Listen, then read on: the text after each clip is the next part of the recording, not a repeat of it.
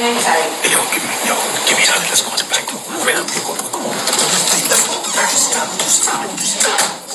Jones, brother Jones, you're looking good. Look like you're making some progress, good sir. Finally got to the bottom of who was driving that car. Hey, girls ready to be here, like you said, man. Oh, them? Come on, man. No, no, no. I got it, Greg. I can drive, brother. Can't do this, bro. You got some cups in the cup. Smoke it lit.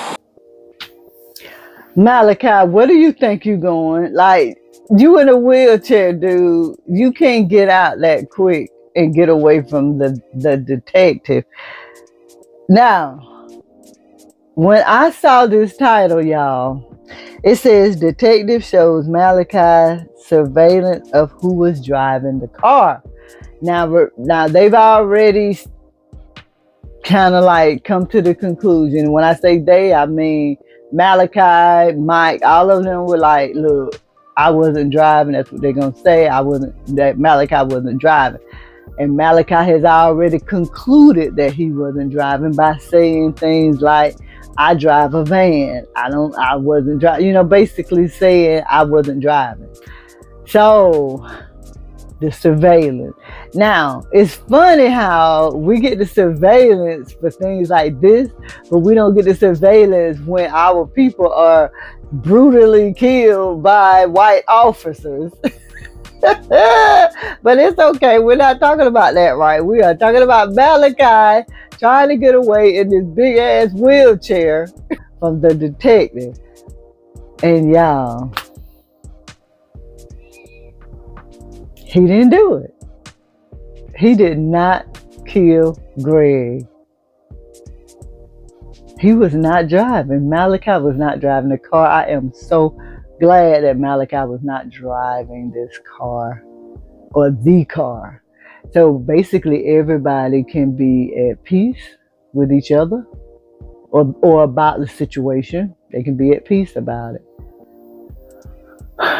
Y'all, don't come for me, please. Please don't come for me. Um, I bought an urn for you, a piece of Greg. I think. What you doing here? Oh. Look. Hey, I, I want to take this time to apologize. Everything happened at the hospital. I, I was wrong. Yeah. There's woman over here, man, but listen to me. Really? Yeah. Malachi, please hurry. Maybe Greg's wife and uh, old dude should get together. I mean, I don't think he really the settling type. But maybe they should just go ahead and get together. I don't know.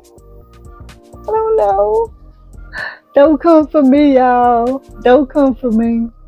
I mean,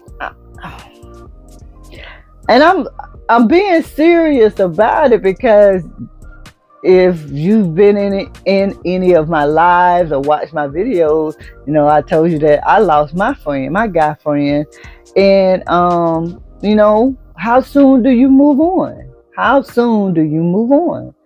And you know we've had tons of memorials for him. Well, not we, but there have been tons uh, not we including me, but there have been tons of memorials for him, and I still have an actual homegoing service to attend this weekend for him. And it's been o- almost a month. And the first thing I thought was, hey, when do I move on? And I know at the homegoing, this is something that's going to be given by his son's mother and I know all of the friends that I didn't meet at the the last memorial is going to be there, and I know there are going to be some really nice people just like him because he his circle was that way. So why not? like, and the same with Greg's wife. Why not? Like if um oh dude, I forgot his name, but if he's open to them dating, why not? I love.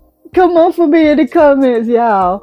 Let's see. What is the question? The question is Should Greg's wife and old dude get together? And another question How long before you start dating after you lose a spouse or partner? I see you in the comments. Thanks for listening. If you haven't, please make sure you like, share, comment, subscribe, guys, and hit that notification so you'll know when I upload a video. And as always, I'm going to see you in the next one. Bye.